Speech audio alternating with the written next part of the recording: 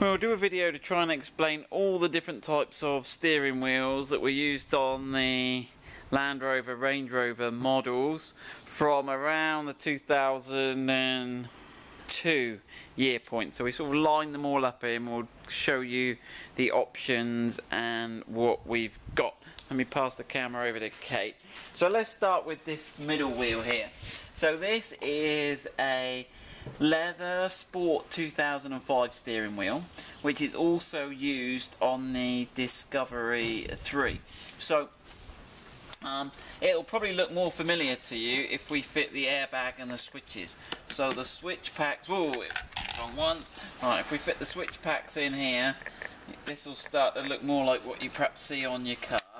Okay so the Discovery 3 the Range Rover Sport use this steering wheel. Now it will look the same as the wheel used on the Freelander 2. Okay, but one thing to notice is the centre boss. So on the Sport and the Discovery they had a splined centre boss. On the Freelander 2, for some reason, they had a hexagonal centre boss. So that's the difference too. Now another point to note here, but you'll notice once you've when you've got this the airbag and the switch packs in. If I just mock it up there quickly for you, it looks exactly the same. So it takes the same switch packs. Now these switch packs, you can get them with no switches on a Discovery 3 commercial and it goes all the way up to the top of the range where they had three switches on both sides. But this is the most common configuration with the three and the two switches. Okay, right then. Now, what you will notice is that on the later models, they had these bigger switch packs. So you'll see how much bigger they are. And what they effectively did was shorten this middle spoke, or these two middle spokes.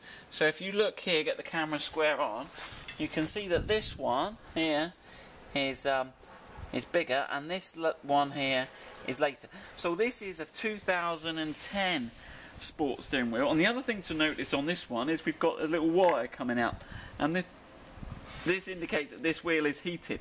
Now, it was an option on the Sport 2005, but very rare to find a Sport 2005 heated. It was what they called a winter pack or a cold country pack. Um, but on the 2010, it was a much more common uh, option. So if I just assemble this for you, so you see what you'll get. Now this Sport 2010 steering wheel was also used on the Discovery 4. Okay, so they are interchangeable. That is what you will see. Um, right, now the Freelander 2 in around 2012 did change to these switch packs, but again they kept a hexagonal centre boss. So if it's if it's this type with the, the shorter spokes, but you've got a hexagonal boss, that's a late Freelander 2 one. Now one other little lesson while we're here is that you will notice on this steering wheel, the Freelander 2 one, when you look at this inner seam, you'll see there's just a seam line, okay? And that's because this is just a molded plastic or PU rubber steering wheel. Right? On a leather one, you'll actually see the stitches, okay? So you can see there the stitches and where it's pulled the rubber up. Um, now I think they actually changed the stitching, so we're getting a bit geeky now, but you, they had a sort of V-stitch, they call this, but on the 2010 steering wheel, you can see they went to this sort of X stitching here, which is a, um, I think it's a much neater stitch. Okay, so that's the steering wheels there for the Sport Freelander Discovery. That's all your options there. Okay, if we move over to the next row, let's move these out the way so Kate can get in with the camera. Okay, this is the L322. So this was the big Range Rover Vogue shape that was made from 2002 until 2012 basically the steering wheel was the same. So let's look at some of the options. Okay, so you've got the four spokes, and they actually even label them on here, A, B, C and D.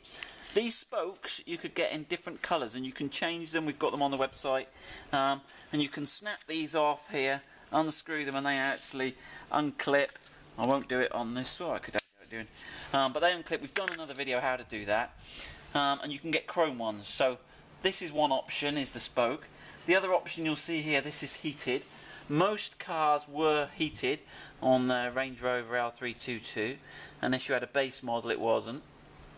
Right. The other thing was paddle shift. Some cars came with paddle shift, and the steering wheel's exactly the same. It's just this rear cover was changed to adapt to have a, a paddle shift. Okay, but the steering wheel core stays the same. So there was only one core used on all models.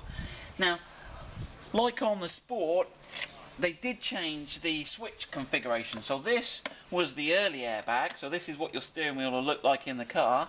Um, but you'll see that in 2010 they changed to the later type airbag that has these sort of navigation buttons here. But the steering wheel remained unchanged. It was really only an airbag um, and button configuration change. So that should be all the options you've got on that steering wheel. And again, on our website, we do them with different wood inlays and different leather types. Um, but take a look at that. Right, and then we get on to these that are used on the 2012 models. So on the left here, we've got the Range Rover Evoque. Now, I'm missing the switch packs on this one. Let me bring this one forward. So, again, the airbag is different on this one. This is the, the airbag used. Um, and I've got the switch packs out of this, but this has sort of diamond shaped switch packs here and this lower U section. Um, now there are two types of steering wheels essentially on the Range Rover Evoque. This one is non-heated. The heated one would have a wire coming out this bottom corner here. And the other option on the steering wheel on the Evoque is whether it's a paddle shift or not. Now you can't fit paddle shifts unless you've got this section here, this threaded hole to bolt them onto. So it's actually a different steering wheel if you want paddle shift. It's not like the L322 where you can just bolt them onto the back. You need to have the, the boss, the mounts there ready. So heating and paddle shift are your two options on the Evoque. Right, now if we put this, that one back, the next one, which is similar, but like a little bit bigger and the switch packs are different and the airbag is different this is a Range Rover Sport 2013, what they call the L494 Range Rover Sport. So you see the switch packs, this is the airbag. Um, again, we've got hexagonal bosses now. It seems that across the range they've moved to the hexagonal boss, um, which means if you're changing the steering wheel, it's much easier because you can't get it one spline out. It's it's fairly obvious if you're a, if you're a whole six um, which I guess is 60 degrees.